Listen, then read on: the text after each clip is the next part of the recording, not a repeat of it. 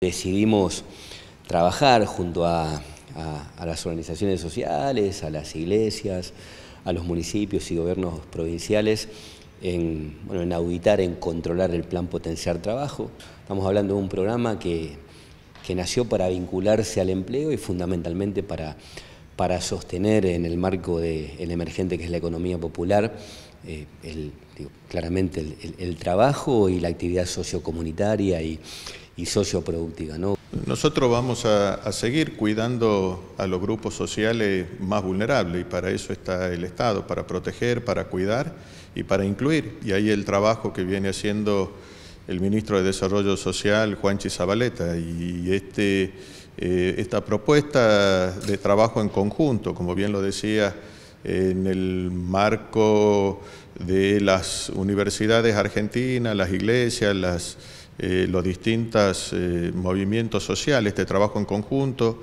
consensuado y coordinado para bien de eficientizar aún más todo lo que tiene que ver con lo que es la llegada del Estado y potenciar esto justamente. Por eso eh, esta puesta en marcha de auditoría tiene que ver fundamentalmente con esto. Así que bueno, son una etapa importante que pone en marcha el ministro. Hoy hemos estado eh, dialogando al respecto, consensuando y bueno, y esto se pone en marcha ahora, la segunda quincena de, agosto y pensamos que esto va a ser eh, muy bueno absolutamente para todo, porque a partir de este primer eh, estudio, digamos, vamos a poder relanzar o potenciar todo lo que tiene que ver la formación, la capacitación y la inserción laboral.